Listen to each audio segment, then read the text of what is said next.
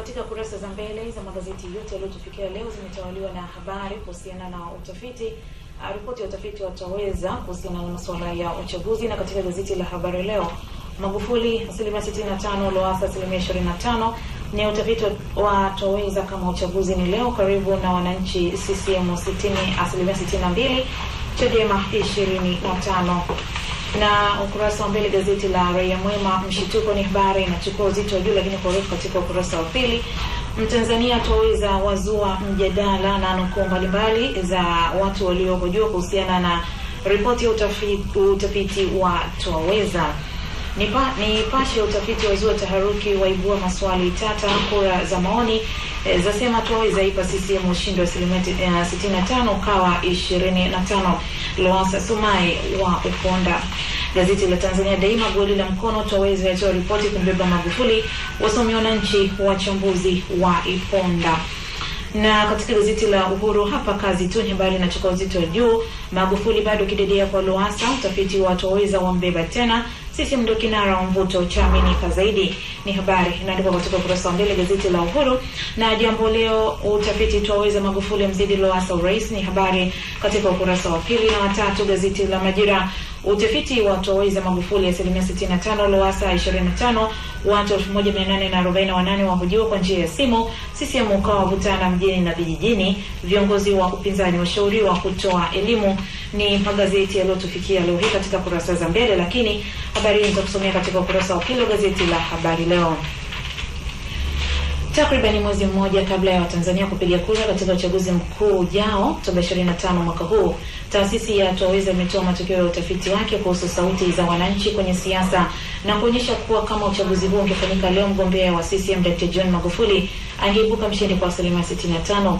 Watanzania watapiga kura Oktoba 25 mwaka huu kuchagua rais, wa bunge na madiwani, na kwa mujibu wa mkurugenzi wa TAWEZA Aidan Eakuze, matokeo hayo ni ya utafiti wa hivi karibuni uliofanywa na taasisi hiyo kwa kukusanya taarifa za madodoso kutoka kwa washiriki uh, utafiti zaidi ya 1300 kwa Tanzania bara na katika ukurasa wa pili Magufuli apiga push up uh, jukwani. Ni habari kutoka Karagwe.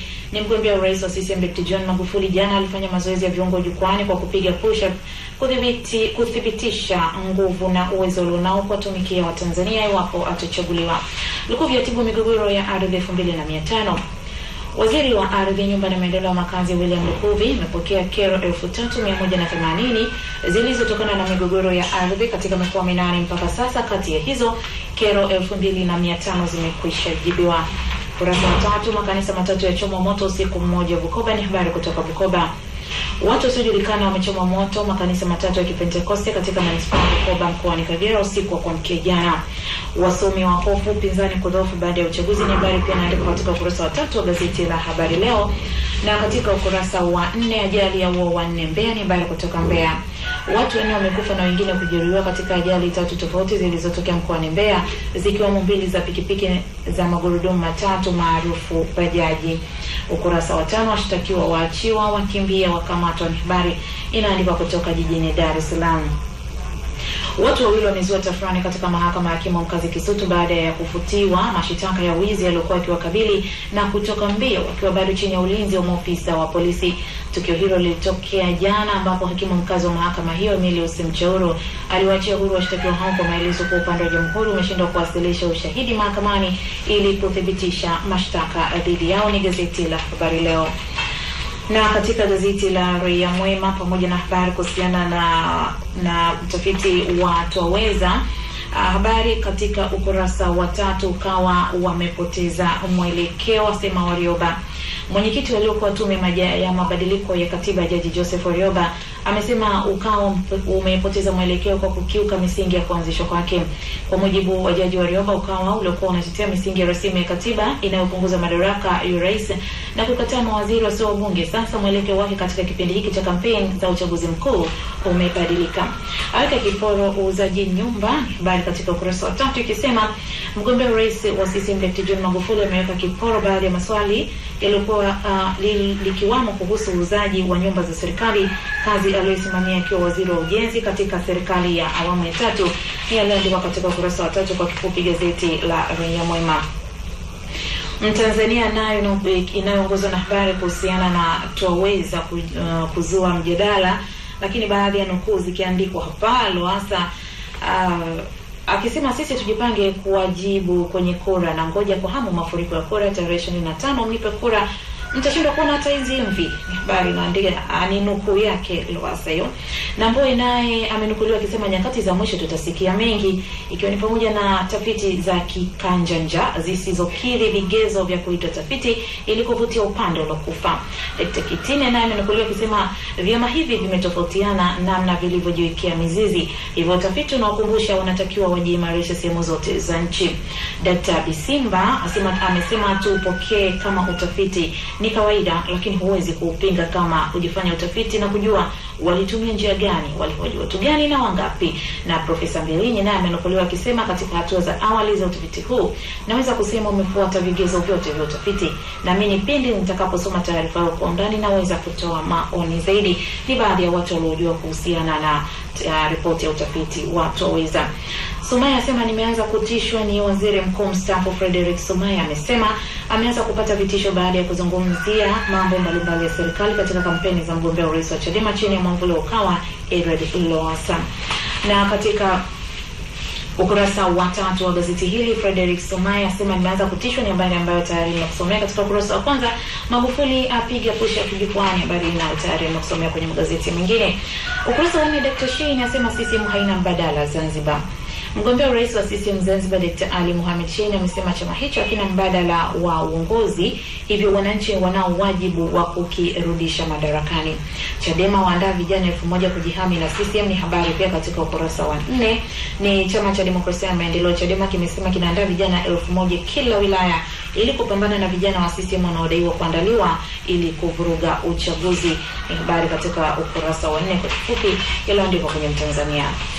Nipashe nayo kiongozi na habari kuhusiana na utafiti wa utoweza Lowassa Sumai wa Uponda ni habari kutoka Masasi. Ni mgombea urais aliyesimamishwa na Umoja wa Katiba Wananchi Ukawa kupitia Chadema Edward Lowassa ameponda matokeo ya utafiti uliofanywa na Twaweza akisema taarifa hiyo ni uongo mtupu. Habari inaendelea katika ukurasa wa nane wa gazeti hili la Nipashe. Na katika ukurasa wa pili ya Magufuli kupiga kuisha kwenye habari ambayo inarejewa kwenye magazeti mengi. Ukurasa wa tatu, Dkt. Mingi awakaribisha wawekezaji wa Alabama ni habari inaandikwa katika ukurasa wa tatu wa gazeti hili la Nipashe na nikiangalia katika ukurasa wa nne, Dkt. Bilal ahimiza teknolojia kutambua afya za watoto kabla ya kuzaliwa. Ni habari inaandikwa, teknolojia mpya ya kuwatambua watoto wenye maradhi mbalimbali kabla ya kuzaliwa itazisaidia nchi zinazoendelea kupunguza magonjwa yanayosababisha ulemavu pamoja na vifo. Na ukurasa wa tano, abiria wasota kwa saa sita Kongoe, malori matano yakigongana. Ni habari inaandikwa katika ukurasa wa tano. Na serikali yaahidi kuboresha sekta ya usafiri wa majini. Ni habari inaandikwa uh, kutokea huko Mtwara.